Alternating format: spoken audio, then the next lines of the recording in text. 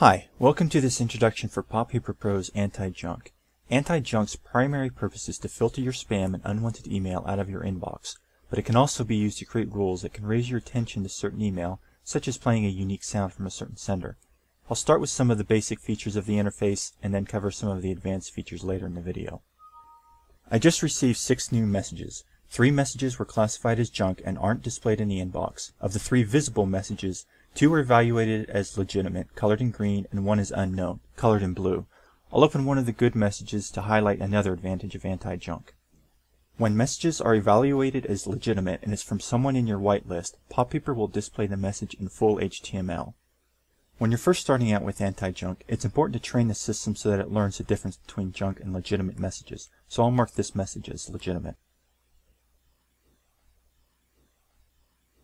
I'm now going to open this message that POP Peeper wasn't sure if it was good or bad and classified it as unknown.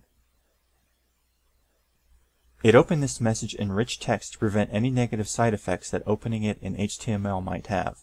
Web of Trust also thinks that this message is questionable, and this is a very good indication that this message is most likely phishing and pretending to be from a legitimate business when it's really not. If you want to actively fight spam, you can report this email to various agencies, such as SpamCop. Again, to train POP Peeper, I'm going to mark this message as junk. This will also mark the message to be deleted. To review the messages that have been evaluated as junk, you can press the Junk View button in the toolbar. The button will be highlighted in yellow whenever you have unread junk messages. The message that I just marked as junk is now listed here and is no longer listed in my main message list. It's a good idea to mark these messages as junk, but for now I'm just going to use the delete junk button to quickly get rid of them.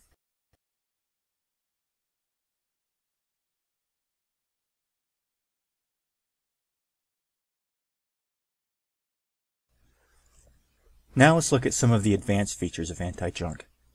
On the left side of this window, you can see a list of all the filters that POP Peeper uses to make its evaluation. The white list is a list of email addresses and domains that you expect to receive email from. Your address book is automatically included in the white list, so this list will usually contain newsletters, shopping sites, banking, etc. The black list is a list of email addresses that you expect to receive spam or other unwanted email from. In general, it's not recommended that you blacklist every email that's spam because most spammers use a different email address each time. However, it can be useful if there is a specific sender that keeps spamming you, such as unwanted newsletters. Rules are the most flexible and powerful filter available. Not only can rules be used to catch junk or legitimate email, they can also be used for special notifications.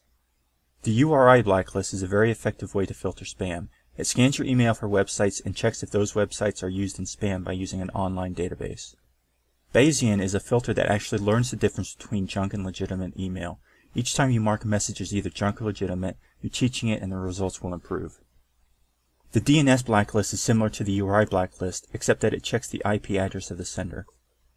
By default, POP Peeper is very conservative when it detects messages as junk. It will filter the messages from your inbox and it will ignore them so that they won't create a notification. But POP Peeper can do much more than that. You can define what happens to each message based on its evaluation.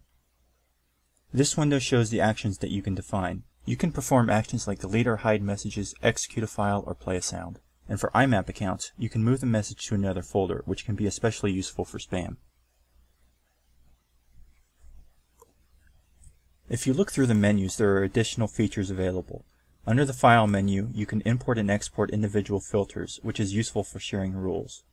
Under the Tools menu, there are features such as testing the filters, purge filters that aren't performing very well, and if you have previously saved sample emails, you can use them to train the Bayesian filter. I'll now show how you can set up a rule to play a special notification sound when you receive email from a specific person. First, give the rule a meaningful name. For this example, I will specify that the from header contains tim at example.com. Next, I'm going to define the actions that I want to occur when an email matches this rule. So I select Perform Actions, specify the flag icon, and set a unique sound. I'm also going to set the weight of this rule to negative 1 to ensure that it's not considered junk. Negative values mean legitimate, positive values mean junk. There are some who call me Tim. Thanks for watching, and please visit the website or email us if you have any questions.